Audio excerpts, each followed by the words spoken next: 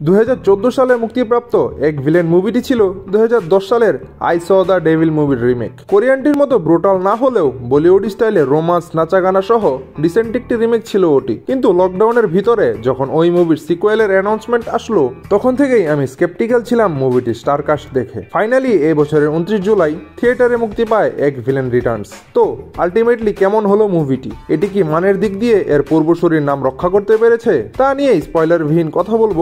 আজকের ভিডিওতে। এক ভিলেন রিটার্নস মুভিটির কাহিনী এর আগের মুভির ইউনিভার্সেই সেট হয়েছে, যেখানে রাকেশ নামের সিরিয়াল কিলারের ব্যাপারে সবাই অবগত।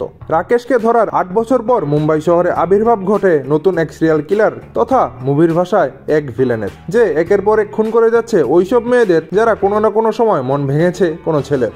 অর্থাৎ এইবারের সিরিয়াল কিলার ছেঁকা খেয়ে বেকা হয়ে যাওয়া ছেলেদের মাসিহা হতে চায়। এই সিরিয়াল কিলিং কাহিনীর পাশাপাশি দুই কাপলের প্রেম কাহিনীর উত্থান পতনকে ঘিরেই বানানো হয়েছে এক ভিলেন রিটার্নস মুভির কাহিনী তো অর্জুন তারা দিশা জন এর মাঝে কে আসলে হিরো আর কে ভিলেন তা জানার জন্যই আপনাকে দেখতে হবে এক ভিলেন রিটার্নস এই মুভির স্ক্রিন প্লে রাইটিং সুন্দর হলেও বিরক্তিকর লেগেছে এই মুভির cringy dialogue feminism social commentary যেই লজিকেই দাঁড় করানো যাক মুভির ডায়লগ রাইটিং ও ডেলিভারি দুটোই ছিল খুব মাত্রায় ক্রিঞ্জি ভালো কোনো অ্যাক্টরকে দিয়ে এই ডায়লগগুলো বলালে হয়তোবা আর একটু ভালো শোনাতো এগুলো ब्लॉकबस्टर जोड़ी है अपनी मैं विलन और तू ও, অ্যাক্টরের কথা বলতে গিয়ে মনে পড়ল। এই মুভিতে প্রথম কাস্ট করা হয়েছিল জন আব্রাহাম ও আদিত্য রয় কাপুরকে। কিন্তু আদিত্য শিডিউল মেলাতে না পারায় কাস্ট করা হয় অর্জুন কাপুরকে। এক ভিলেন রিটার্নস এমন একটি মুভি যেখানে কে ভিলেন কে হিরো তা বোঝার উপায় নেই। যেখানে অর্জুন কাপুর প্লে করেছে বড়লোক বাপের বিগ্রানো পোলার। কখনো চার্মিং কখনো মেনিপুলেটিভ বিভিন্ন শেড বলা চরিত্রটি সে প্লে করেছে এক এক্সপ্রেশন দিয়েই। এক্ষেত্রে যদি আদিত্য থাকতো,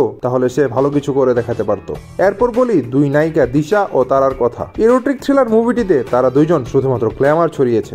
এই ক্ষেত্রে তার আর অ্যাক্টিং স্কিল ভালো থাকলেও তার চরিত্রের ব্যক্তি ছিল কম। আর দিশা পাটানিকে এম এস ধোনি বাদে আর কোথাও অ্যাক্টিং করার চেষ্টা পর্যন্ত করতে দেখিনি আমি। তার উচিত অ্যাক্টিং বাদ দিয়ে আইটেম সং আর ইনস্টা মডেলিং এ ব্যস্ত থাকা। এই মুভিতে ভালো পারফরমেন্স যা করার ছিল তা একমাত্র করেছে জন আব্রাহাম। অবশ্য সিনিয়র অ্যাক্টর হিসেবে এতটুকু তার থেকে আশা করাই যায়। তবে গত মুভিতে রিতেশ দেশমুখ তার পারফরমেন্স দিয়ে যেভাবে সবাইকে তাক লাগিয়ে দিয়েছিল, তার আশেপাশেও কেউ যেতে পারেনি এই মুভিতে। फिक्र मत कीजिए मैडम आज के बाद आपको शिकायत का मौका नहीं मिलेगा এক ভিলেনের প্রথম মুভিটি ছিল গ্রাউন্ডেড ওখানে দুই নায়ক তথা ভিলেনের মারামারিও ছিল রিয়েলিস্টিক কিন্তু এক ভিলেন রিটার্নস যতটুকু না থ্রিলার মুভি তার চেয়ে বেশি অ্যাকশন এরোটিক হিসেবে মনে হয়েছে আমার মুভিতে জন আর অর্জুনের hand to hand combat scene ভালোই ছিল কিন্তু দু এক জায়গায় সিজিআই এর কাজ খুব চোখে পড়ার মতো ছিল মুভির সিনেমাটোগ্রাফি আহামরি কিছু না কয়েক জায়গায় ব্যাকগ্রাউন্ড দেখে মনে হয়েছে কোনো গেম চলছে মোহিত স্তরের মুভি হিট হোক বা ফ্লপ কিন্তু তার মুভির গান কখনো ফ্লপ হয় না। হোক সেটা দুই হাজার সাত সালের আওয়ারা পান কিংবা হালের মুক্তিপ্রাপ্ত মালাং। মোহিতসুরির মুভি মানেই গান হিট। এক ভিলেন রিটার্নস মুভির গানগুলো এক ভিলেন মুভির কাছাকাছি না গেলেও মোটামুটি ভালোই ছিল। মুভি দেখার পর থেকে ভিডিও এডিট করার সময় পর্যন্ত দিল নাতে রেবিন গান দুইটি শুনছি আমি। মুভিটির ট্রেলার দেখে আমার এই জিনিসটি ভালো লেগেছে যে এটি মেইন টুইস্ট রিভিলের আশেপাশেও যায়নি। একটি থ্রিলার মুভি হিসাবে বেশ কনফিউজিং রাখা হয়েছে ট্রেলার। থ্রিলার হিসাবে খুব ফাস্ট পেসে চলেছে মুভিটি, যার ফলে কিছু জায়গায় খাপছাড়া লাগে। মুভির ফার্স্ট হাফে দুই কাপলের পাস্ট এবং প্রেজেন্টের কাহিনী কাটছাট করে দেখানো হয়েছে, যা ইন্টারভেলের সময় এক হয়।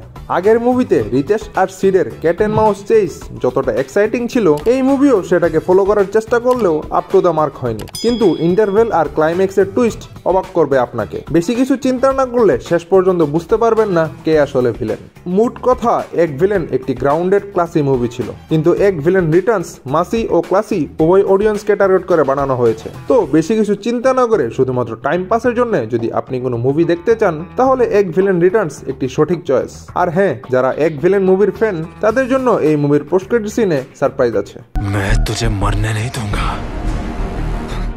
लेकिन मैं तुझे रोज मारूंगा एक बार नहीं হাজার বার মারুঙ্গা। তো আজকের জন্য এই পর্যন্তই। দেখা হবে অন্য কোনো দিন, অন্য কোনো ভিডিওতে। ভিডিওটি ভালো লাগলে লাইক ও শেয়ার করুন। মুভি সিরিজ রিলেটেড কোনো প্রশ্ন, ভিডিও নিয়ে কোনো মন্তব্য বা সাজেশন থাকলে অবশ্যই কমেন্ট করুন। মুভি সিরিজ নিয়ে বাংলায় কথা বলা এই চ্যানেলটিকে সাপোর্ট করতে সাবস্ক্রাইব করুন। Piece out